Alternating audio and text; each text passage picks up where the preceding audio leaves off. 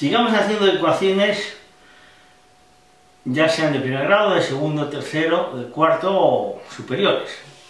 Bien, en este caso vamos a resolver esta ecuación que tenemos aquí escrita.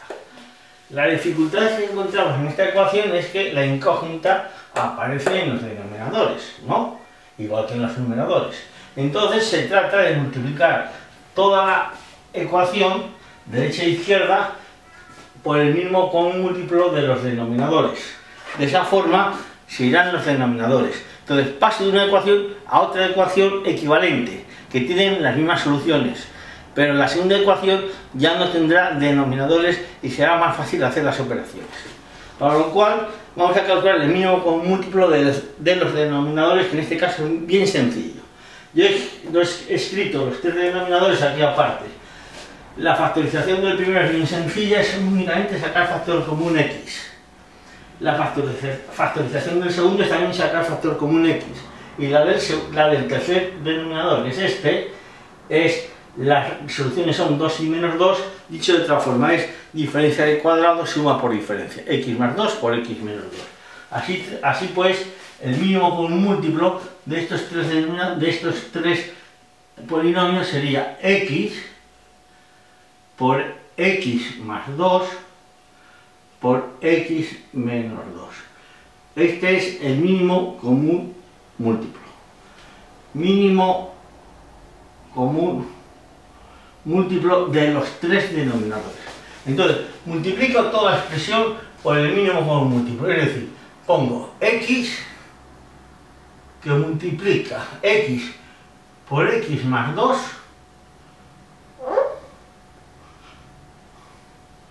por x menos 2 que multiplica a, la, primera fracción, que es x menos 1, y esto ya lo voy a poner factorizado para poder simplificar. x por x más 2 menos x por x más 2 por x menos 2 por 2 y pongo factorizado x por x menos 2. Así ve igual, igual, y voy a seguir, ah, el igual voy a seguirlo aquí para no interferir con aquello. Y me queda x por x más 2 por x menos 2 ¿eh? por x dividido, estoy aquí, x menos más 2 por x menos 2. Tengo primer sumando, segundo, igual a esto. Si va la x con la x, x más 2 con la x más 2, y me queda sencillamente, lo voy a poner aquí lo que me queda. Me queda x menos 2, ya lo ven ahí, por un x menos 1. Aquí menos, porque hay un menos. ¿Qué me queda ahí? El x menos 2 se va con el x menos 2, ya lo ven, x con la x. ¿Qué me queda? 2, que multiplica a x más 2. Así de sencillo. Igual, ¿eh? ¿Eh? Dividido por x al cuadrado menos 4, que es x más 2 por x menos 2. Bien. Entonces, sigamos aquí. La parte de. Se cancela el x más 2 con el x más 2. El x menos 2 con el x menos 2. Y x por x, x al cuadrado. Así es es lo único que queda. Hagamos operación. x por x, x al cuadrado.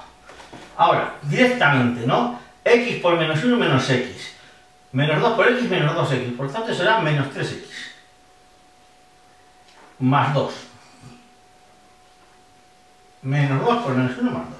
Entonces me queda menos 2x menos 4. Igual a x al cuadrado. ¿Qué sucede con ese x al cuadrado? Que se van. 3x menos 2x me queda menos 5x. Igual. Porque es una ecuación de primer grado. Ya paso los términos independientes al otro lado de la ecuación. Entonces, más, 2 eh, más 4 es menos 2, que ha pasado para el otro lado es más 2. Por lo tanto, me queda, ya pongo aquí la solución, x igual a menos 2 quintos. Y esta solución es válida, es cierta, porque no es, no es ni 2, ni 0, ni menos 2, ni 2, ya que este paso, este, esta ecuación solamente tiene sentido, hemos dicho que esta ecuación solamente tiene sentido cuando esto es diferente de 0, cuando esto es diferente de 0 y cuando esto es diferente de 0. Es, decir, que esa ecuación tiene sentido solamente, tiene sentido para x diferente de 0, para x diferente de 2 y para x diferente de menos 2. Para cualquier número de esos, esta ecuación no tendría sentido. Había que aclararlo desde un principio. Bien, hagamos un segundo problema. Una ecuación en la cual la incógnita está dentro de una raíz cuadrada. O dos raíces cuadradas. Bien, se trata de, hacer una, alguna operación en esta ecuación, ¿eh? pasarlo a otra ecuación equivalente que tenga las mismas soluciones, pero que se vayan eliminando las raíces cuadradas. Yo sé que una raíz cuadrada, al elevarlo al cuadrado, se va. ¿eh? Y queda solamente dentro, dentro, queda solamente el radicando. Por lo tanto, por otra parte, si tengo que A es igual a B, si elevo al cuadrado, al cuadrado será igual a B al cuadrado. Por lo tanto, en esta ecuación, que vamos a resolver esta ecuación, raíz cuadrada, raíz cuadrada de 2x más 1 menos 3 igual a raíz cuadrada de x menos 8 elevamos todo al cuadrado, hacemos esta operación, igual elevado al cuadrado. Bien, este es el cuadrado de una diferencia, que sería el cuadrado del primero, 2x más 1, porque el cuadrado de la raíz cuadrada queda el radicando solo, más el doble, bueno, es un menos, pues menos el doble del primero por segundo, 6 veces raíz cuadrada de 2x más 1, y eh, más el cuadrado del segundo, 9. Igual el cuadrado de esto, que sería x menos 8. Bien, hagamos operaciones. Todo de lo que no tenga raíz para un lado y la raíz para el otro lado. 2, esta, 2x con esta x me queda sencillamente una x.